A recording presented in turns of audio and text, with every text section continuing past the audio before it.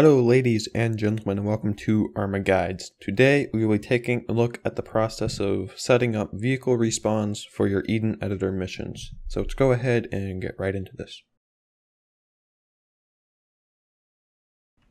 So there are two things you'll need. The first is of course the actual vehicle itself and the second is a vehicle respawn module. So first let's go ahead and grab the respawn module.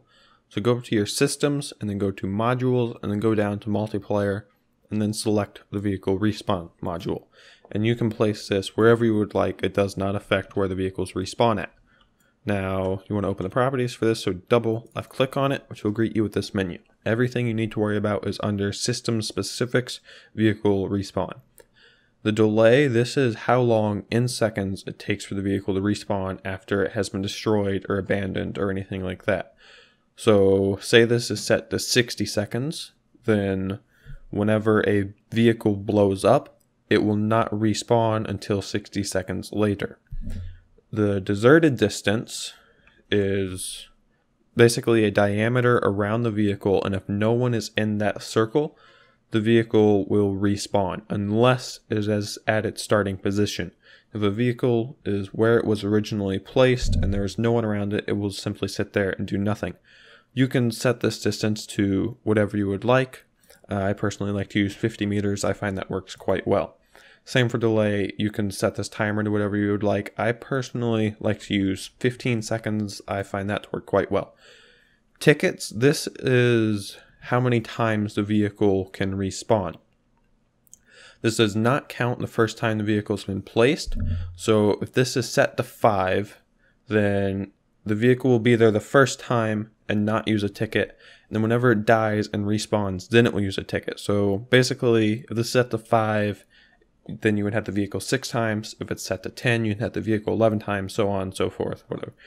If you leave this blank, then it's an infinite number of respawns. Uh, I personally just recommend leaving this blank unless you're doing more specific missions that have um, a heavy focus on realism or things like that. And then expression. All this does is you can put a line of code here, and whenever this module is activated in a vehicle respawns, it will execute that code. This is far more advanced stuff I'll be talking about in the future. Um, if you understand basic coding for Arma 3, you can start using this now, but it's nothing too crazy. I rarely use it. Now for position, this chooses where the vehicle respawns. There's a lot of options in here. Um, pretty much all these are more advanced and I'll be talking about them in the future. Right now, all you need to worry about is where it was destroyed and starting position. Where it was destroyed is fairly self-explanatory. Whenever the vehicle is disabled or blown up or anything like that, it will respawn where it was destroyed at. And then starting position, whenever that is selected, the vehicle will respawn where it was originally placed whenever making the mission. I personally like to use starting position. That is what I would recommend you use, but it is completely up to you. Position selection. This is a little more advanced. Basically, you can have multiple vehicle respawn modules synchronized to a single vehicle. And what this will do is it determines how it chooses between which respawn position to spawn the vehicle at. So of course, if it's at random, it will randomly select the position to respawn at. If it's at oldest, it will select the very first module that vehicle was synchronized to. If it's at newest, it will select the most recent module the vehicle was synchronized to. Um, unless you're going into more advanced stuff, you don't need to worry about this at all. You can just leave this on random. It won't affect anything. Wreck determines what happens with the vehicle after it's been destroyed. So Preserve, what this does is that it'll just leave the vehicle there. So the original vehicle will stay and it will spawn a new copy as well. I personally don't recommend using this because it can clutter the server with large amounts of disabled vehicles and it can start to cause lag over time. Uh, delete, it completely removes the vehicle, it just vanishes whenever it respawns. This is what I like to use, and then delete with an explosion effect does the exact same thing as delete, but with a rather large explosion where the vehicle was. And it is lethal, it will kill anyone within the blast radius.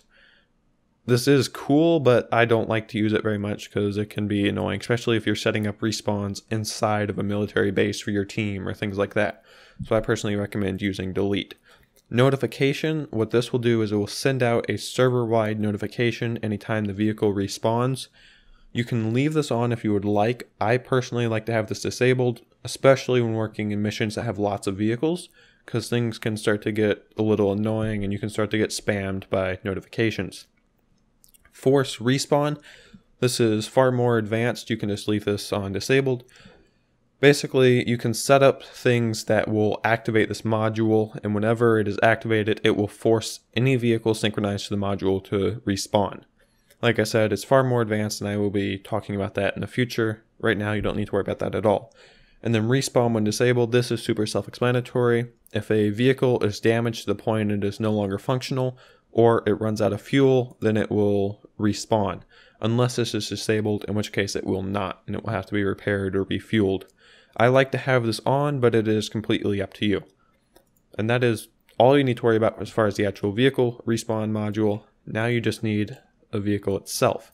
So you can have as many vehicles as you want of any type, and you simply synchronize them to the module. You right click on the vehicle, go to connect, and then go to sync to, and then left click on the vehicle respawn module. And you would just do this for each individual vehicle.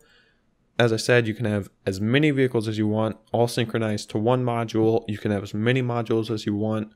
You can just spread them throughout the map. The only reason I would really do that is to have different respawn type or d- different respawn times for different vehicle classifications. So, say air vehicles take twice as long to respawn as ground vehicles. And you can synchronize multiple vehicle respawn positions to a single vehicle. So, I could simply copy and paste the module here several times and I could synchronize it to one of these and it would randomly select between which one to spawn at. That's really all there is to it. I hope you guys found this helpful and I will see you in the next one.